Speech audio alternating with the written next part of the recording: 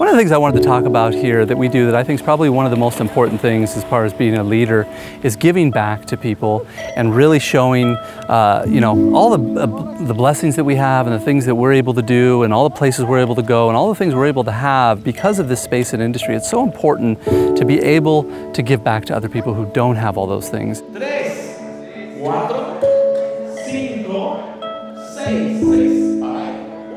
One of the things that we're going to be doing here is we're going to be building some bicycles for some very young girls at an orphanage who, have, you know, are underprivileged and have, in some cases even had some abuse, and they just don't get the things that your normal, everyday, westernized kids get.